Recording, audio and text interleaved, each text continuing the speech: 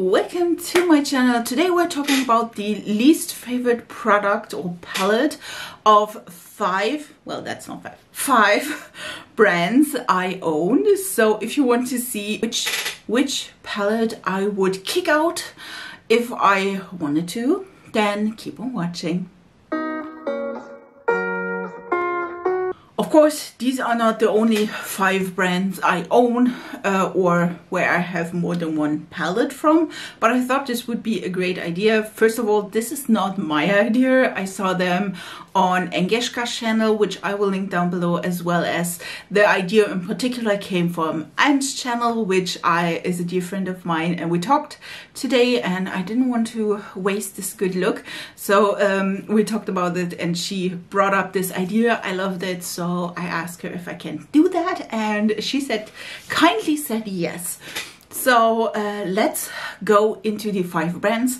I will show you what palettes I own from the brand and which one would be the one I like the least. So which one I would kick out if I wanted to. Let's start with the difficult one and these are my Natasha Denona like palettes. I will start probably with the small ones. I do have small palettes uh, from Natasha Denona. This one is the Mini Love. This is the Mini Love. Oh, I love this shade, by the way. This is a gold to pink. I don't, here maybe you can see. This one is the Mini Love.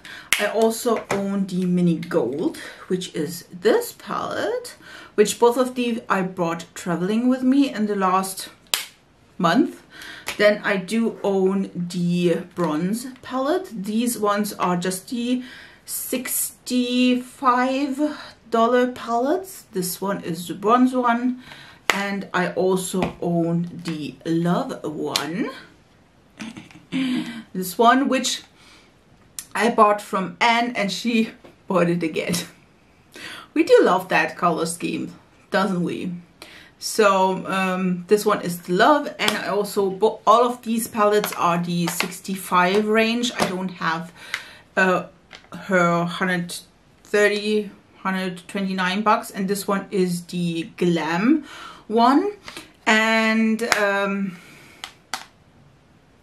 I do have to say, if I would like for this five palettes, again, I don't own any single product of these brands, but I thought this would be a fun thing. So just so you know, these are the products from Natasha Denona and the one I love the least would be the bronze. I know, I know, I know, I know, I know. Listen, I do love a warm tone. For me though, this one hasn't enough light shades. It doesn't have even enough deep shades to be honest because this one is the only deep shade that is a matte. This these two shades here are both shimmers. I do love the colors though. I mean, I wouldn't get rid of it at the moment. But if I had to get rid of one of the Natasha Denona palettes, this one would be the case because I do, even though the glam is looking really, really boring, I still can use it on a lady and there are light shades, dark shades, you know what I mean? So I'm like, yeah, from, from Natasha Denona, it would be the bronze. Let's come to Odens Eye. I do own a few, five? I feel like five palettes. There will be like more palettes at the end of it. I do own five palettes I think it's five. From Odens Eye, um, my first is the Old palette. I was so craving this one because, listen, greens, do I have to talk more about it? You do have also like a split pan where you could mix both of the shades or you can yeah, just use this shade or this shade. We do have a really nice uh, deep green, a beautiful stunning deep shimmer. We do also have a pastel one. Do love that quite a bit. We do have three collaboration palettes. Um, the first one is the Giant Wolves with Annette's Makeup Corner.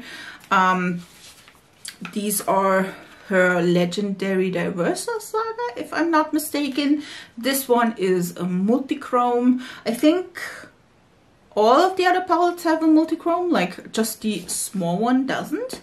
This one is the Giant Wolves. I also have um, the collaboration with the Fancy Face, which is this one, and this one is the Hummingbird palette. Yes, it's just the Hummingbird. I think it's Blue Hummingbird, but it's just Hummingbird, which is this beautiful palette. We do have also, again, a great variety between lights and deeps, which I love. Then we do have their almost newest collection, which is the Solmane 2 palette. Um, this one is a really, really beautiful, almost rainbowy eyeshadow palette. Still love that one. And then, of course, we do have Angeschka's uh, Hela palette with Odens Eye Together. And this one is this palette with greens and pinks. So, listen, I do love all of them. I think they're great palettes in general, but if I have to choose one of these palettes that I would get rid of if because it's my least favorite, it would be the Giant Wolves. Don't come for me. I do still love the Giant Wolves. It's just it is a color scheme I normally don't go for. It is quite dark shades and that is why I bought it. Don't get me wrong. But if I have to choose just one palette, let me put that here, just one palette I would get rid of Odens Eye, it would be this one because this one alone I won't use or I won't use frequently. So that is the reason I would go with this one. A brand I uh, loved over the years is Beauty Bay and that's why we are talking about it. By the way, I just remembered that in the backdrop I do have the be listen there are two palettes this one like this and I won't pick that up but it's the Iron Bright Mattes do love that we'll put in a picture. It is uh, the old version, by the way. And I don't have the Wilderness palette with me because it is on vacation with Anne and she is testing the formula out. I was giving it to her to test out and that is why these two palettes you just see in the picture. But I also have the Alice in Wonderland palette, like the small six pan palette. This one which is so, so cute. I do also own both 16 pan, 16 pan, um, like monochromatic palettes. One is the berries, and this is again the 16 pan. And you do have like two rows of warm tone berries and two rows of cool tone berries and the same is with the earthy one you do have 16 pans, two rows with cool tone greens and two rows with warm tone greens, just so you know. I do like these quite a bit. We do have also in the same format as the Wilderness, the Age of Opulence, which is a really, really pretty like jeweled toned blue and purple with neutral palette. Definitely can tell I did use that one. And the almost newest before the dark fantasy one, which I don't own, is the new mod palette or new mood palette. I'm so sorry. This one is new mood. This one is the newest in my collection. And what is the least favorite one? It's this one. It's this one. I, I am so sorry. I know I shouldn't have bought this to be honest, but again, you will see uh, maybe occurring a role. It is just so deep.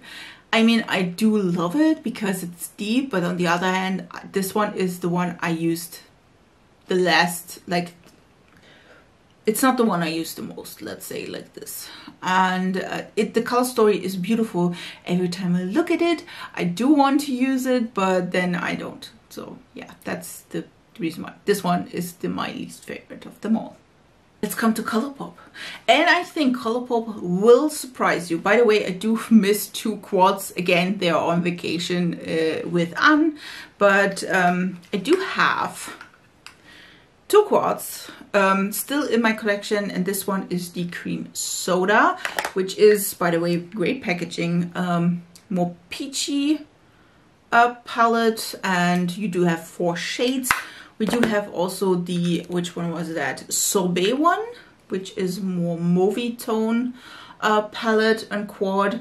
Do love the both the tones and the uh, shimmers here and there. We do have quite a few of the nine pans. We do have the Kid You Not, which I'm not sure if that is my favorite, but I mean, it's high in the ranking, which you know have great and beautiful purpley shades we do have also of course the whole star wars collective uh, which the child palette is this stunning green palette we do have the Mandalorian palette, again, Star Wars for the win. This one, we do have the Darth Vader palette and uh, this one. And then we do have the, let's keep up with the Star Wars theme, the Star Wars palette. And this is the Star Wars palette. And then I do own also the Honey, uh-huh, Honey palette, which is the yellow palette, yellow chromatic monochromatic palette and this is this one where I always say that I want to change the glitter. I didn't do that so far but I'm sure sure at some point in the near future. So let me let me scoochy scooch uh, to or let me grab the palette I like the least of all of them. And you know, if you saw my Star Wars review, which palette of the Star Wars uh, collection I did like the least. And to be honest, it's not the palette. I would definitely, I don't, I like the least of these palettes, Disobey one. Listen, listen, I thought this would go differently, but it didn't. I, I, listen, this one I did like a lot because you, you do have some depth, but this one, these two shades, you know, it's a really light look and I just, like I can see myself decluttering this at the end of the year. And if you want to see that, stay tuned, subscribe to this channel. But yeah, this one is definitely the one I like the least. And I know it is hard, but yeah, this one definitely is my least favorite from Colourpop. Let's come to, well, I need to like put back my arms because this one will be interesting. And let's come to Kaleidos. Listen, I do have a lot of palettes and I think Kaleidos is one of those brands where I bought quite everything. I missed a palette or two, but in general I do have quite a lot. So uh, let's get into this and let's start with the quartz because their newest stuff is a quartz and I do have the Smoky Nostalgia collection. I lost my sticker. Um, I think this one is Jasmine, Black Jasmine if I'm not mistaken, which is a black and gray palette. We do have Cold Smoke. Again, there's no sticker on it, which is the more neutrally brown uh, palette. We do have this, the two newest quads from the collection. I will link the I will link a ton of videos where I may test these out or have them. Where listen, they put stickers on the back. I'm loving that. This one is the Glow and Iris, which is the more vibrant purple palette. We do also have the Flowing Haze, which is the more muted palette, but I mean, listen, they're stunning. Then we do have the like six pen palettes, which is uh, the Futurism 1 Sci-Fi Green, which is of course a green palette. Listen, mostly the name is right. Then we do have the second one, which is uh, the Futurism 2 Cyber Bronze, which is the more brown toned palette with red and silver. We do have the um, Astro Pink, which is the Futurism 3, which is this stunning number. Do need to use more. Like, listen, I do need to know more. Then we do have the fifth one. I missed the fourth because that was neon pal neon palette, and listen, I that was my time. This is the fifth one, Futurism 5. It's Electro Turquoise, which, I mean, look at the colors. Then we have the sixth one, which is, no, that's number seven. The sixth one, Futurism 6, is Lunar Lavender, which is a beautiful purpley color scheme. And then we have the seventh, which is uh, Sashimi City, which is a more peachy approach. You can definitely tell this shift.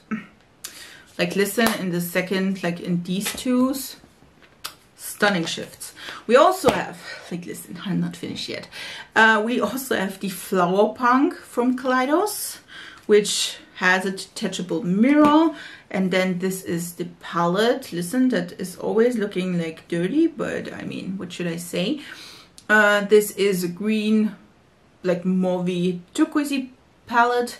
And then you can just like de detach the mirror, which I do like because then you can, you know, use it as a handheld mirror. Do like that idea. And then the last one, I think, if I'm not mistaken, is of course my Kaleidos and Angeschka palette, which is the Club Nebula palette. I mean, look at this. Stunning, isn't it? So let's think about my least favorite one and I know exactly which one it is.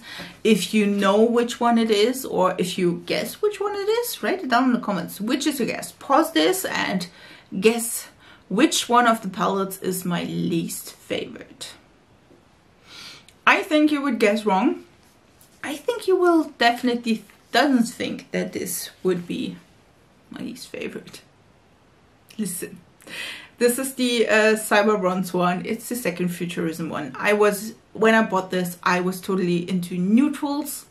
This was two years ago. I wasn't into neutrals. I would never have bought like colorful palettes. That's why I didn't bought the neon one because I thought I would use that and like three months later I was totally into color. But the point is indeed, it is just a, it's not a boring neutral palette don't get me wrong but these colors are really really pigmented and uh, I don't know it's some somehow somehow I'm not vibing with this one as much as I vibe with other palettes that they released. You know what I mean so yeah, this one is my least favorite. And yes, you would think maybe that this would be the Black Jasmine one. No, this is not the cold. This was the cold smoke or cold or whatever. You would think it's the Black Jasmine one, but to be honest, I do have a place for this in my collection. And the bronze one, I don't. Because normally I... This one, by the way, is discontinued, so you can't buy this if, even if you wanted to. If I ever, like, declutter this you would have maybe a chance to um but so yeah. Um yeah this is um, my least favorite kaleidos palette. I'm sorry for that these were five brands and their least favorite palette in my opinion of course. If you are a different or if you have a different opinion about that then please write it down in comments. Also if you want to see my favorite palette of these brands or even a second video with other brands I do have in my collection also write it down in the comments. If you aren't already, please subscribe to this channel. I will three times a week.